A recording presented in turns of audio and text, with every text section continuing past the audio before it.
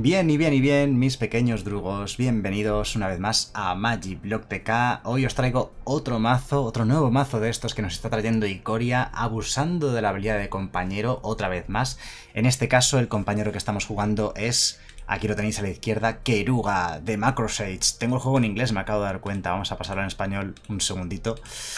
Eh, el macrosapiente ha sido la traducción. Pero vamos, diréis, pero si es una Jeskai de Fuegos de la Invención tal cual. Sí, efectivamente, el mazo Jeskai Fuegos de la Invención, eh, exactamente tal cual lo conocemos, como podéis ver, por cierto, os aviso que ahora mismo, tal cual, en el momento que se está publicando este vídeo en YouTube, estoy comenzando mi directo en Twitch, por si os queréis pasar a verme jugar en directo, a chatear, a interactuar, etcétera, etcétera. Tenéis el enlace justo debajo del vídeo, en la descripción de este vídeo pone twitch.tv barra magicblogtk, pincháis ahí y os lleva directamente a esa página web en la que me podéis ver jugar en directo y además también en la descripción del vídeo os dejo el listado completo de este mazo, como siempre, exportable a Magic Arena para que lo podáis jugar, probar, etcétera, etcétera. De hecho, si ya tenéis la Yeskai de Fuegos de la Invención, os va a costar muy poquito ampliarlo a este mazo. Quizás lo único que, bueno, os va a faltar que están por aquí abajo del todo, que no lo estabais viendo, son los cuatro triomas de Raw Green, que, bueno, se puede jugar sin ellos, ¿de acuerdo? Hemos estado jugando Yeskai Fuegos de la Invención sin triomas.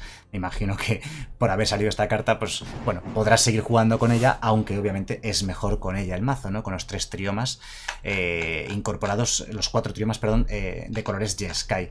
¿Qué hace Keruga? Keruga no afecta en nada negativo a este mazo, prácticamente en nada. Prácticamente ninguna versión juega... Em, hechizos de coste 3 o menos, eh, de coste menor a 3, mejor dicho, en, en Jeskai de Fuegos de la Invención. Así que no supone ninguna pega, pero es una carta extra, es como empezar tu mano con 8 cartas en lugar de con 7, ¿de acuerdo? Llegas a ese quinto mana, esa quinta tierra en juego y lo puedes jugar directamente desde, desde el banquillo. Em, es decir, típico, típica partida de Sky en la cual, bueno, has, has conseguido jugar fuegos de la invención de cuarto turno, gracias a, yo que sé, que has buscado, manipulado con Esfinge de las predicciones, has aguantado con Ladronzuelo Atrevido, Gigante Aplastahuesos para eliminar permanentes o criaturas del rival, con Teferi también ganas tiempo y ventaja de cartas, con el Clarín matas criaturas pequeñas del rival, etcétera, etcétera.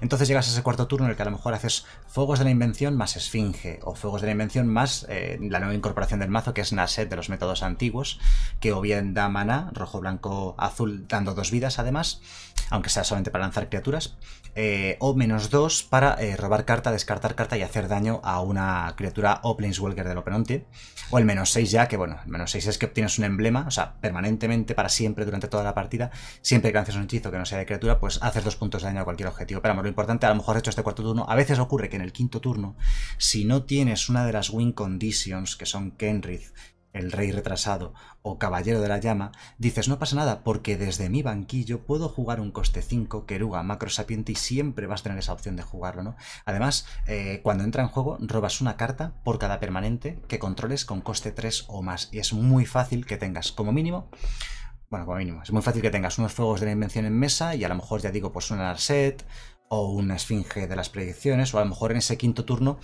juegas un caballero de la llama más un queruga desde tu banquillo, robas 3, 4 cartas y encima como te sobra el mana porque los has jugado gratis a los fuegos de, gracias al fuego de la invención, encima les das prisa, atacas y bueno, ya sabéis cómo funciona este mazo y tal, así que no hay mucha novedad. Vamos a echar unas partiditas con él, a ver qué tal se nos da. Me imagino si estáis jugando un poquito estándar, estaréis viendo cómo está la cosa de mazos de Giruda, mazos de Winota, mazos de Kajira, los compañeros están por todas partes, las cosas rotas están por todas partes. Eh, ya lo dije yo, que estándar iba a cambiar completamente y creo que me quedé corto. Yo dije, nada, sí, van a seguir estando las mismas barajas de antes, pero bueno, cambiarán y habrá algunas más. No, no, es que el metajuego ha cambiado completamente en todos los sentidos y las barajas que había antes ya no están y las que han cambiado han cambiado tanto que ya no parecen las mismas. De hecho, yo diría que esta Sky de Fuegos de la Invención es una de las pocas que prácticamente no ha cambiado nada, excepto bueno, la incorporación de, de este Keruga y bueno, la limitación en la construcción del mazo que todos tus permanentes tienen que todos tus hechizos tienen que tener coste 3 o más, que tampoco es tanto problema. De hecho, de hecho este mazo hace un poquito de trampa, porque veis, esto es un permanente de coste 3, es un hechizo de coste 3, pero que puedes jugar por coste 2, ¿de acuerdo? Lo que hace la regla de Keruga es que te impide te impide llevar en tu mazo inicial cartas de coste menor a 3. Esta carta es de coste 3, ¿de acuerdo? Lo que pasa es que tiene un modo de juego que es por 2, pero la carta es de coste 3, ¿entendéis lo que quiero decir, no? Así que realmente casi no te limita en nada. Vamos a intentar no perder muchas vidas. Aunque es tentador Voy a pagar dos vidas. es tentador querer pagar estas dos vidas de, de, la Shockland para subir un permanente a la mano con el ladronzuelo atrevido y el siguiente turno subir otro permanente con el Teferi. Tenemos fuegos, más esfinge quizás de cuarto turno y de quinto turno, veis, nos falta, nos falta uno de los bichos gordos de quinto turno, ¿vale? Pero siempre tienes el Keruga, más otro permanente quizás de coste de coste 3 o más, que va a ser la Esfinge, ¿no? Entonces, más los fuegos, o sea que a lo mejor cuando juguemos este Keruga, pues robaremos tres cartas. Y es posible que cuando robemos esas tres cartas, encontremos a su vez otro coste 5, otra criatura más de, de valor, ¿no? Como solemos decir. Obviamente aquí el ataque nos lo comemos, es un ataque de uno, no pasa nada. Vale, juega una tejedora del destino, que yo creo que, bueno, por ganar un poquito de tiempo y eso, pues se la subiremos a la mano. Tenemos 16 vidas, tenemos muchas vidas. Parece que nos enfrentamos a una Selesnia de encantamientos. Son buenos mazos. Yo creo que no son, no son tier 1 ni tier 2 para mi gusto. Yo siempre los... Soy un poco, un poco duro con estos mazos, pero bueno. Pagamos dos vidillas, jugamos el Teferi, le vamos a subir al 6 de la mano. Más tiempo que ganamos. Es cierto que este Teferi, pues bueno, puede que muera si decide atacar con la druida del paraíso. Habría estado mucho mejor si hubiésemos robado un clarín, ¿no? No habríamos jugado ni el ladronzuelo ni el teferio. Habríamos hecho clarín, le habríamos matado a las tres criaturas y le habría costado prácticamente la partida al rival, ¿no? Sin embargo, no hemos tenido esa suerte. Pero tenemos una jugada muy buena el siguiente turno, que va a ser Fuegos de la Invención más Esfinge, probablemente, aunque la Narset tampoco es tontería. Es la primera vez que voy a jugar con Narset, sinceramente, entonces estoy intentando pensar si realmente es una buena carta para este mazo o no. Por ejemplo, se echan falta eh, los caballeros... Eh, los caballeros azules, el que cuesta 5, que robas 3, devuelves 2. El caballero azul no lo lleva esta versión y a lo mejor merecería más la pena llevar un par de caballeros y quitar estas dos Narsets que lleva, que lleva este lista de mazo. Bueno, nos mata el Teferi. Sabíamos que era algo que podía pasar, o sea, no, no hay mucho problema con ello. Le ha dado vigilancia, por tanto, no le supone ningún tipo de, coste, ¿no? Vale, ya no juega bicho. no sé muy bien por qué, la verdad. Bueno, vamos a jugar esta tierra. Buscaremos una cualquiera. Jugaremos Fuegos de la Invención. Y yo creo que... ¿Qué tierra podemos querer? En general el color rojo suele estar bastante bien en este mazo. Fuegos de la Invención. Y Narset... Yo creo que no. Yo creo que mejor una Esfinge de las predicciones, que es un permanente de coste 3 o más, que no nos lo puede matar fácilmente, como una Arset si nos la puede matar más fácilmente. Basta con que la ataque. Esto puede crecer, ¿vale? Em, ¿Veis? O sea, esto puede crecer, sabíamos que eso iba a pasar. Y ahora, bueno, pues a ver qué top de quedamos. Tenemos que adivinar uno de la esfinge para el siguiente turno. Y este bicho lo podemos matar, ¿de acuerdo? Se lo podemos matar, lo podemos subir a la mano a lo mejor. Con la propia Narset incluso podríamos llegar a matarlo. Nos hemos robado muchas tierras, por cierto, ahora que me fijo. No hay mucho problema tampoco, no os preocupéis. En ese sentido, nos quedan 8 vidas, nos podría llegar a matar incluso. Pero aquí es cuando viene un poco la otra tierra, ¿eh? Aquí es cuando viene nuestro turno, nuestro momento. Otra tierra, sí señor. Voy a hacer el templo.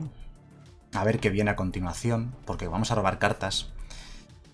Un, un Tresferi. Pues un Tresferi a la vida del paraíso no podemos. Por cierto, no podemos hacer el objetivo. He dicho, ah, la matamos haciendo el objetivo, lo que sea. No, no. No podemos hacer el objetivo porque tiene antimaleficio. Voy a tirar el Teferi este hacia abajo. Podríamos hacer Narset y luego Keruga. Para robar una carta extra.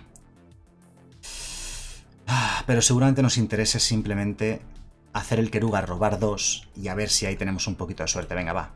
Hacemos Keruga, robamos dos cartas nada más. Pero digo, como Narset no puede hacer objetivo la druida del paraíso que tiene antimaleficio, seguramente la tengamos que bloquear o algo así. Vale, pues no hemos tenido suerte con los robos, como hemos podido comprobar. Así que vamos a jugar esta Narset, que nos permite robar y descartar. Ojo, hemos robado muchísimas, muchísimas tierras. No ha habido mucha suerte en esta partida, sinceramente. Hacemos el más uno. Ganamos dos vidillas, por cierto. Nos da mana de cualquier color, no importa el color. Y... Y bueno, pues... Esperemos que no nos mate este turno. Podría matarnos dando protección con la Alseide a la Druida del Paraíso. Le da protección, ataca, si pega de 10 y nos mata simplemente, ¿no? Puede que nos gane esta partida en este momento, en este ataque. Pensad que si sacrifica la Alseide pierde daño, ¿vale? Porque todo lo que reluce da más uno más uno por cada artefacto y o encantamiento que controlas. Así que por eso pega de 6. Al sacrificar al 6 de su fuerza bajaría y no nos haría tanto daño. Incluso podemos hacer un doble bloque aquí un poco, un poco agresivo también. Quizás se ve un poco en la obligación de atacar ese Narset. También podría ser que atacase simplemente a Narset. No hemos tenido mucha suerte con los robos. ya digo, muchísimas tierras. Y eso que, hemos tirado, que hemos tirado hacia abajo, por cierto, las dos últimas, ¿qué cartas eran? Un Teferi hemos tirado y otro templo hacia abajo. Como he dicho antes, no podíamos hacerlo objetivos. Eh, sé que lo comenté antes, en el turno anterior, pero luego ya me di cuenta cuando dije, ah, me quedo el Teferi y dije, ah, espérate, no, no, que tiene antimaleficio, no seas tonto. Vale, a ver qué es lo que nos mata. Pega 7 esa druida del paraíso.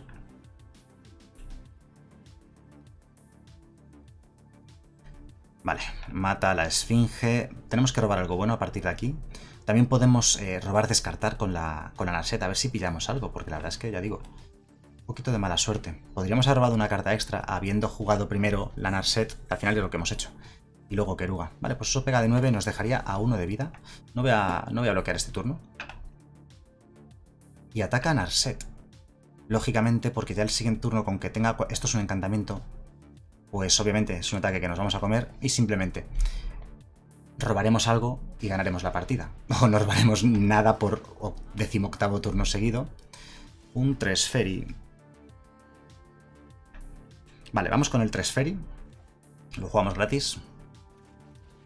Le podríamos quitar el todo lo que reluce de la, de la druida del paraíso, pero sería no adelantar mucho, sinceramente. Le podríamos subir al Seide, pero tampoco adelantaríamos demasiado.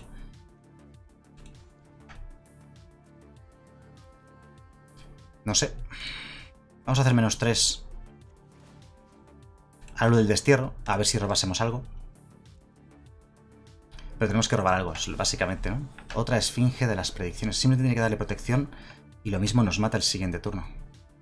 Igualmente, quiero decir. Vale, pues nada, jugaremos otra esfinge de las predicciones.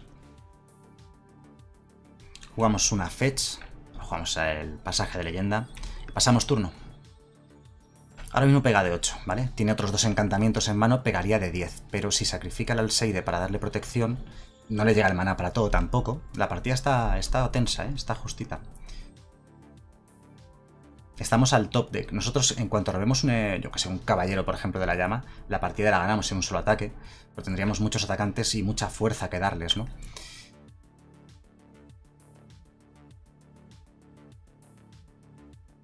Le puede dar protección contra azul, y como mis tres bichos son azules, eh, no podría bloquear. Vamos a ver, vale.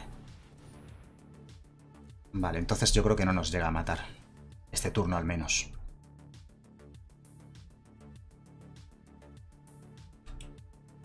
Tenemos que top-deckear algo, eso está claro, ¿vale? Un Kenrith nos valdría, un Kenrith estaría bastante bien, sí. Y además nos daría un poquito de tiempo, tenemos mucho maná, podríamos robar cartas extra. Quizás tendríamos que jugar incluso tierra girada. Para el se está pensando qué hacer, lo está haciendo un poco prácticamente al azar, yo diría. Nos quita los fuegos de la, los fuegos de la invención, vale, interesante. Lo cual nos permite jugar a final de turno a dar un suelo y aún así tenemos en mano otros fuegos de la invención. La verdad es que eh, no es precisamente lo peor que nos podría haber quitado. y nos, nos, deja conservar los tres bichos. Y no ataca. Uy, aquí el rival... Este rival lo va a pagar caro. Es posible que le acabe costando... Que le acabe costando la partida. Voy a buscar otra montaña. Es posible que el haber hecho esto a los fuegos nos ha permitido jugar ladronzuelo atrevido al final del turno. Y a ver si un poquito de suerte top dequeamos, ya digo, cualquier cosita. Tenemos dos a adivinar.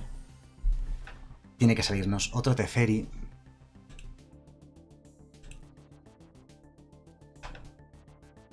Yo creo que el Teferi... Buscamos Caballero de la Llama o un, o un Kenrith. Gigante. Le podríamos matar esa Alseide lo cual nos daría bastante tiempo. Le voy a matar al Seide.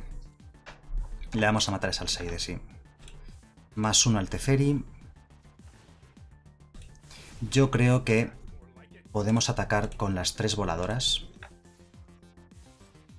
Bueno, con las tres. Con dos, por si acaso. Pegamos de siete volando.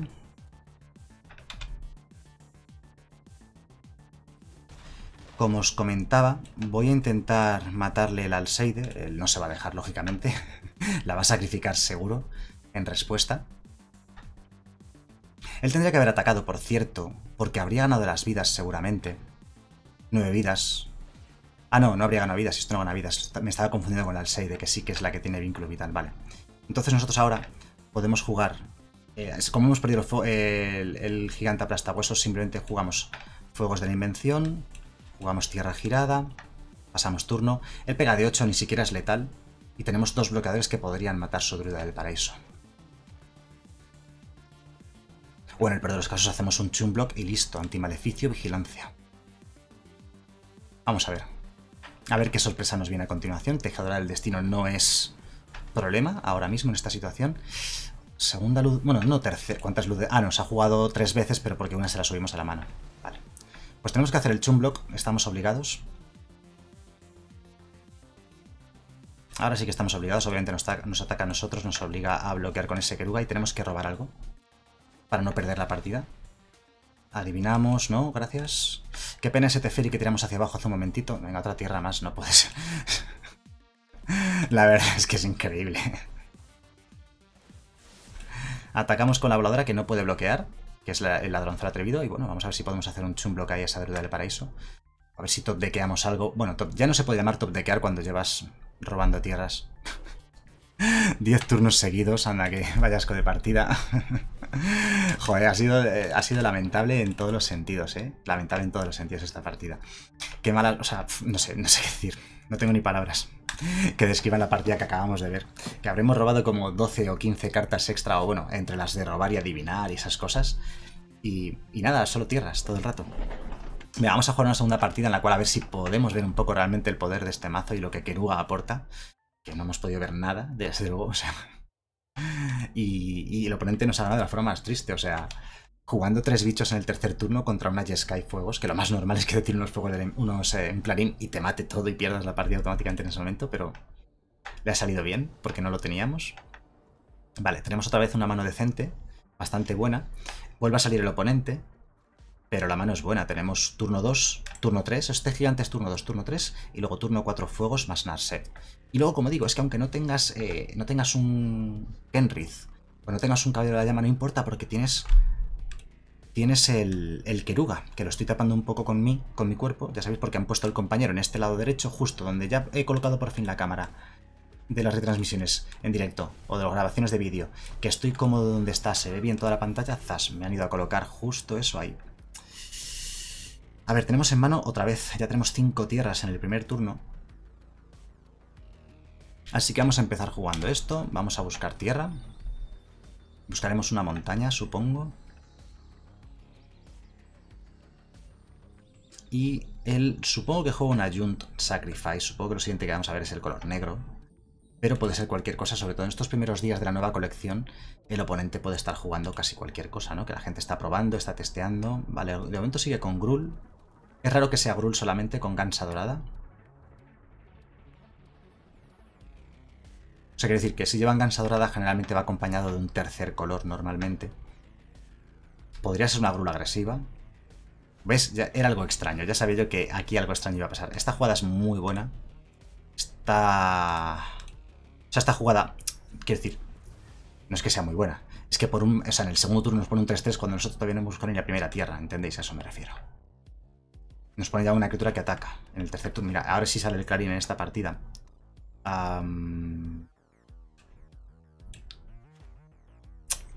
Podríamos habernos escondido en la mano esta tierra para que él no supiese que tenemos también blanco y azul y haber jugado quizás esta tierra, la roja blanca nada más, porque ya se, ya se huele que tenemos un clarín y que le vamos a matar estos dos bichos en el siguiente turno. De hecho ya ha jugado tierra girada para no jugar más.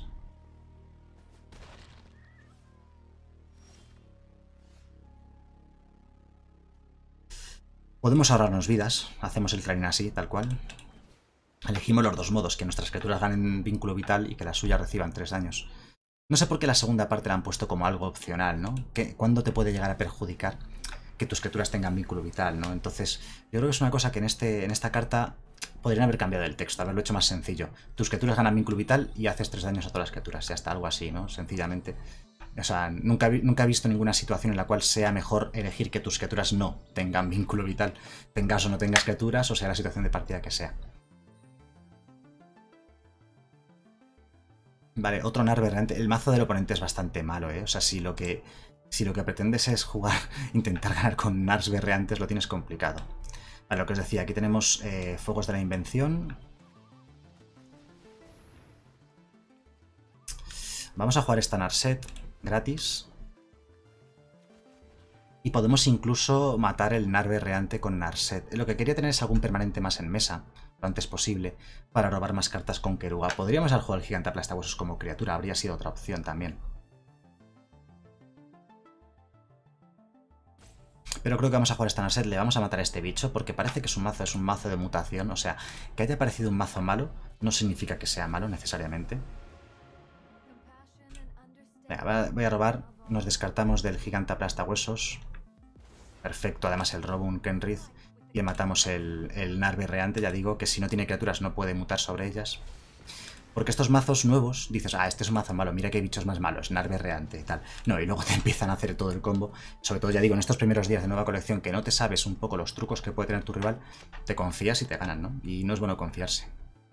De hecho, tengo aquí mucha experiencia en el canal, cada vez que me confío algo, me acaba dando... El karma me acaba dando una buena sorpresa, ¿no? Así que vamos a intentar evitarlo. Oh, nos matarán a ser con su propio gigante aplastahuesos. Era otra posibilidad que valoré, pero bueno, fijaos ahora, ¿eh? Este turno, este turno es nuestro turno. La jugamos como tierra, jugamos el Kenrith gratis, metemos a Keruga, robamos tres cartas, les damos prisa y arrollar y es game over. Espero que no conceda. Esto es un poco lo que, lo que yo quería ver, ¿no? O sea, quería ver la, en la partida anterior con haber tenido un Kenrith nos habría valido. O, ya digo, un Clarín que no nos salió. O cualquier cosa realmente, ¿no? Bueno, hemos robado otras dos tiras. ¿Qué está pasando? ¿Qué está pasando? Vamos a darles prisa y arrollar a nuestras criaturas. Y ciclaremos el trioma, lógicamente. una de las primeras veces en las cuales voy a aprovechar que los triomas son ciclables. Pegamos de 10. Estamos a un turno de ganar. Y no podemos hacer nada, así que pasamos turno. Ciclaremos el trioma. Muy mala suerte de todas maneras. Eh, no somos letales el siguiente turno, salvo que juguemos otra criatura. Bueno, o el gigante aplasta huesos con dos daños extra, claro.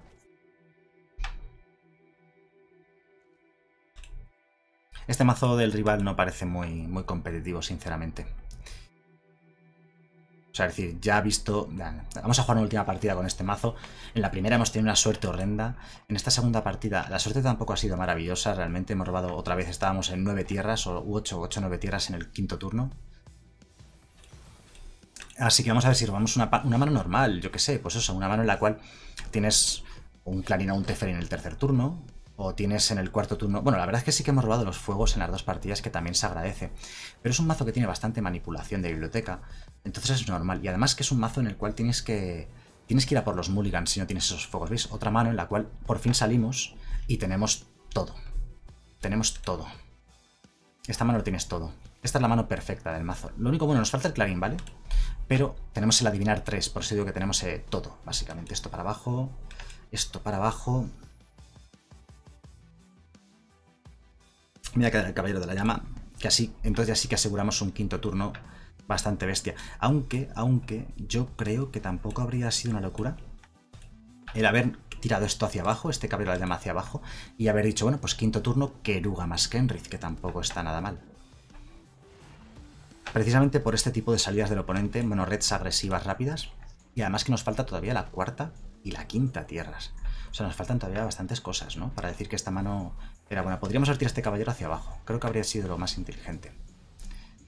Vale, es justo lo que quería ver. Un Teferi, para robar una carta extra y encontrar la cuarta tierra. Y además ganamos un poquito de tiempo. ¿Nos puede matar el Teferi? Sí, pero ya en su turno, no en el nuestro. Subimos el escopograsas a la mano, o sea, con una chispa, quiero decir. Nos falta la cuarta tierra, como no me robar esa cuarta tierra, pero si robamos cuarta tierra tenemos fuegos más esfinge,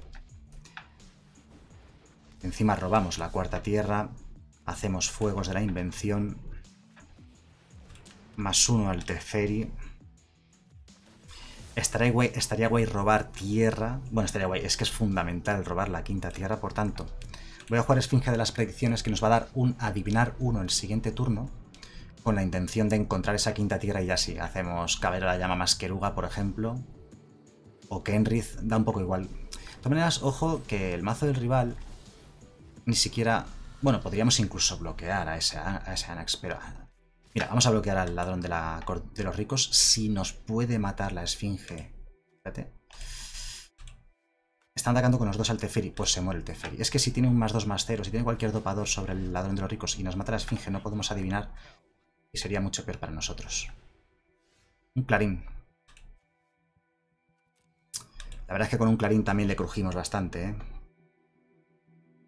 Vamos a quedarnos el clarín. Vamos a quedarnos el clarín. De hecho, además, hacemos por cero dañar a todo y vínculo vital a nuestras criaturas. Puede que nos mate la esfinge si tiene un choque. Podría ser que tuviese un choque y nos mate la esfinge. Es poco probable. Pero aquí estas Vale, poner los tokens, eso ya lo sabíamos.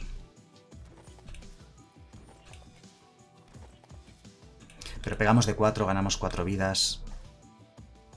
Y podemos hacer, por ejemplo, Narset.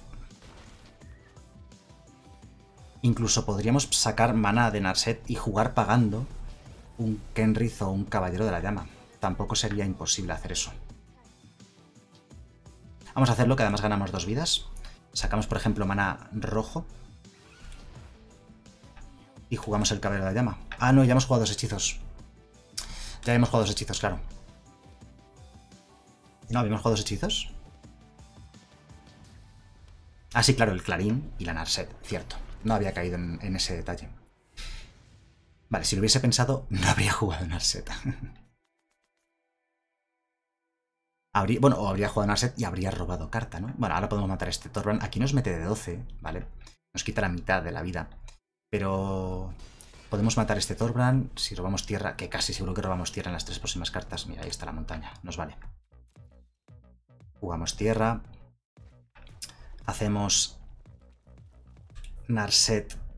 Robamos, descartamos. Matando el Thorbrand. Y además tenemos dos caballeros de la llama. Matamos ese Thorbrand, que es lo que nos puede matar.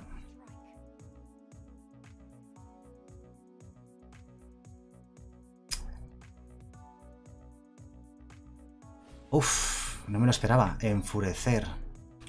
Por tanto, aguanta 6. Así que... Tenemos que matarlo. Tenemos que matarlo con el gigante aplastabuesos y aún así podemos jugar el Kenrith igualmente. Ganar 5 vidas. y el rival concede, ganábamos 5 vidas, le dábamos prisa, pegábamos de 9 y el siguiente turno era nuestro.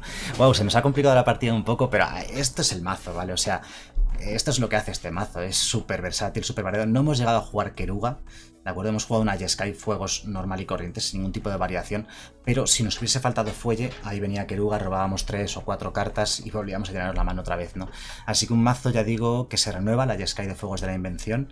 Ha salido buena partida esta última, hemos ganado estas dos últimas partidas. La primera es que tuvimos una suerte horrible y fue, fue imposible de ganar. Mazo para los que os gusta el control, los que os gustan las descargas de fuegos, que sepáis que va a seguir siendo viable y que además mejora un poquitito más gracias a, este Keruga, ¿no? Así que nada, espero que el vídeo os haya gustado y nos vemos en el siguiente vídeo. ¡Hasta luego!